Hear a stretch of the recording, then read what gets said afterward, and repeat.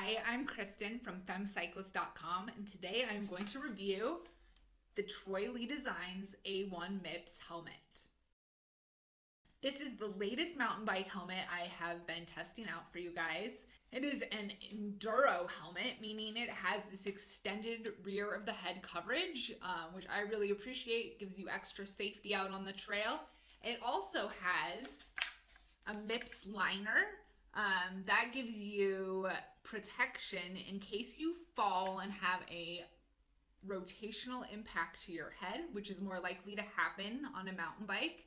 Um, it's just going to give you one extra layer of protection for your brain. Highly recommend choosing a mountain bike helmet with MIPS. One thing to note for long haired ladies, if that's you, you may get your hair snagged on a MIPS liner. That is just reality with a MIPS liner helmet.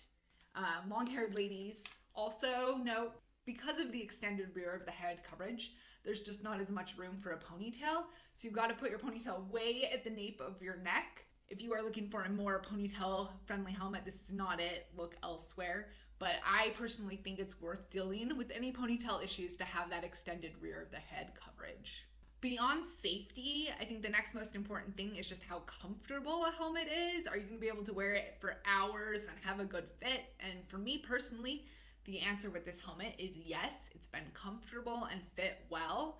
It has a rear fit dial that works really well to get it cinched down. One thing I will note though is this little wheel isn't very big and it was hard to operate with gloves on. So um, that dial wasn't my favorite, but not a big deal. Around the ears here, we have some adjustments to get the V directly beneath your ear. I don't like this as much as the POC helmets, for instance, that just have an adjustment free strap there. But again, that's a personal preference. It has a traditional style buckle. The padding inside is nice and comfortable.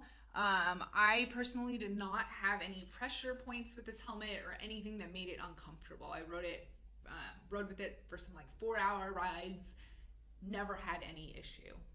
Because it is an extended enduro style helmet, it's just not going to be as breathable as a road helmet or a more minimalistic mountain bike helmet.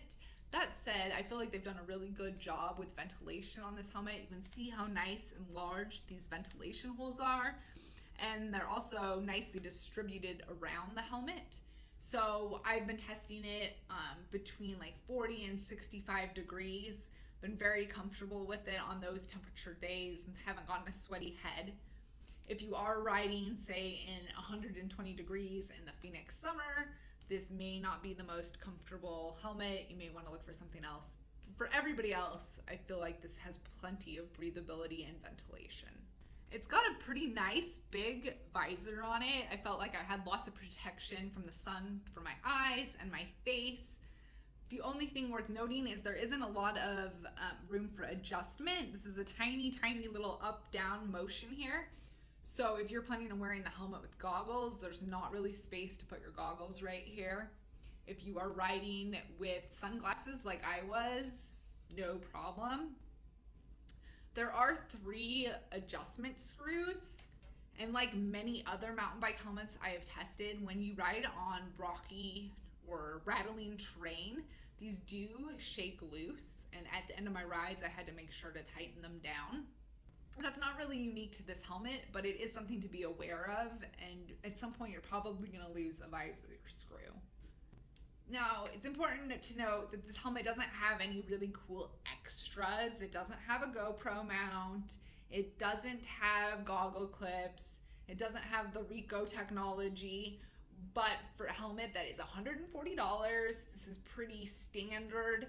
Um, unless you want to spend 200 plus dollars for a helmet to get all those extras, we think that this is a great choice and, and there's nothing there that you're really gonna miss.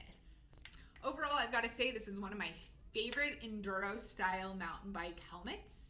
Uh, it's lightweight, it's comfortable, it's got good ventilation, and most importantly, it's got that rear of the head coverage and MIPS technology to help keep you safe. If you want to learn more about the Troy Designs A1 MIPS helmet, head on over to Femme Cyclist where we have a written review and some photos for you guys.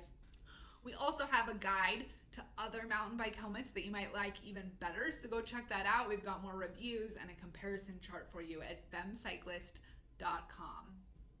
Please go ahead and hit subscribe so you get notified when we post future reviews and tips and tricks and inspirational stories, content to help you have more fun riding your bike. Thanks for watching. We'll see you next time.